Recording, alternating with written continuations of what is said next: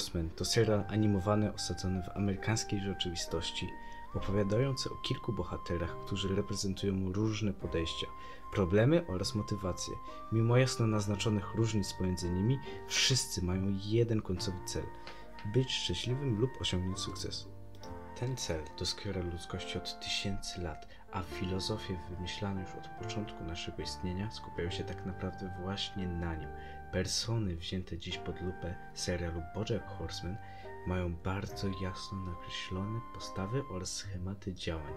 Wyróżniłem aż cztery postacie, co za tym idzie podejścia BoJacka Horsemana, Princess Caroline, Toda Chaveza i na końcu Peanut Buttera, z czego kolejność nie jest przypadkowa. Raz. Nie jesteś tym koniem z rozbrykanych?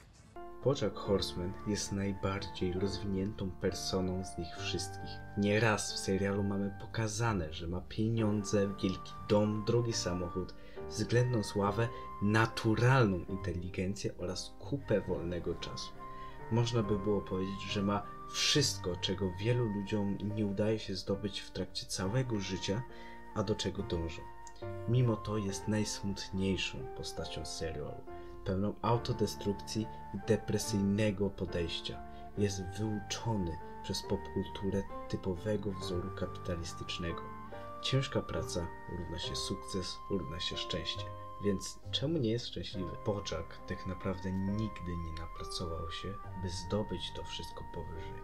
Wpadło mu to bawiąc się na planie filmowym swojego serialu przez co nie umie tego docenić. Miał okropnie trudne i patologiczne wychowanie, przez które nienawidzi do końca życia swoich rodziców, a dzieciństwo pozostawia na nim odczuwalny ślad psychiczny na całe życie.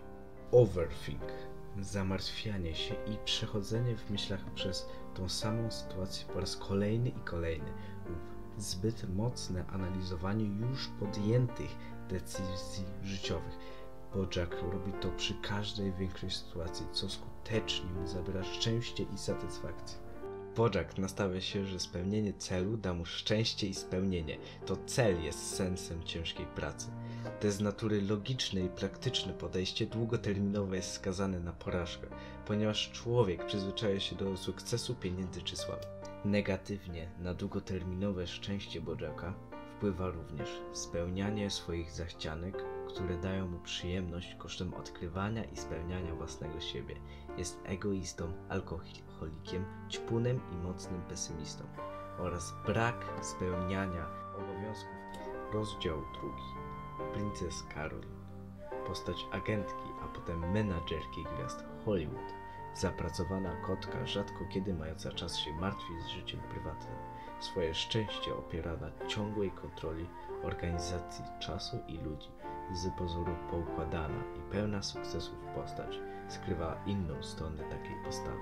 Gdy tylko ma chwilę na pozostanie sama ze swoimi myślami, występuje u niej overthink.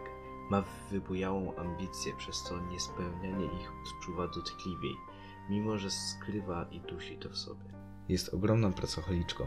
Pewnym momencie serialu nawet odsypia stres przez dwa dni, co drastycznie wpływa na jej długoterminowe szczęście. Podobnie jak Bojack, miała trudne dzieciństwo wśród dysfunkcyjnej rodziny, co już za młodu zaszczepiło w niej nastawienie antyrodzinne. Także podobnie jak Bojack, ma wpleciony w swój nurt myślowy kapitalizm, u niej objawiony pod wzorem. Ciężka praca, sukces, szczęście. Przez co Podobnie jak Bojack myśli, że sukces daje jej szczęście, a tak naprawdę daje jej tylko krótkofalową satysfakcję. Mimo wszystko jest postacią na tyle silną, by mierzyć się ze swoimi ułomnościami, skupiając swoje szczęście na dziecku, a potem żeniąc się, wypełniając pustkę życia rodzinnego, czy zrywając kontakt z osobami, które destrukcyjnie na nią wpływają. Trzeba tu uprościć, że nie chodzi o to, że żeby być szczęśliwym, to trzeba mieć drugą połówkę i dziecko. Chodzi o to, że z natury człowiek jest istotą społeczną i potrzebuje długotrwałego ciepła, prawdziwej relacji. Czy to od rodziców, rodzeństwa, dzieci, małżonka, czy nawet tak bliskiego przyjaciela, którego możemy nazwać rodziną. To oddział. Todd Chavez Najmłodszy z całej czwórki, na początku obozowiczka na powy u tytułowego bohatera, bez domu, bez ambicji, bez szacunku do samego siebie, na łasce serialowej gwiazdy, która go toleruje tylko dlatego, że nie chce się czuć samotna. Na końcu serialu mężczyzna, który ma własne mieszkanie, dziewczynę pogodził się z własną rodziną i ma szacunek do siebie. Mimo tak wielkiej zmiany, jego długotrwała satysfakcja jest niezmienna. W jaki sposób? Todd jest optymistą, skupia się na dobrych, codziennych rzeczach, zamiast skupiać się na wielkich celach. Takie optymistyczne zachowanie objawia się na przykład robieniem jajecznicy, podśpiewując radosną piosenkę, czy z tą samą radością liczenie aż do miliona. Niestety trapią go problemy społeczne i rodzinne. Doskwiera mu brak akceptacji lub zrozumienia do jego stylu życia czy orientacji. Przeżywa złe dzieciństwo, które charakteryzowało się brakiem akceptacji rodziców, przez co w dorosłym życiu potrzebował jej odczuwania. Rozdział czwarty. Peanut Butter. Żółty Labrador. Gwiazda Dom Pana Peanut Buttera. Peanut Butter and Julie. Filbert. Gwiazdy Hollywood. Co oni wiedzą, czy oni coś wiedzą. Sprawdźmy to. I Stówka Tatuśka. Pies, który się nie skupia na celu, a go osiąga. Jak on to robi?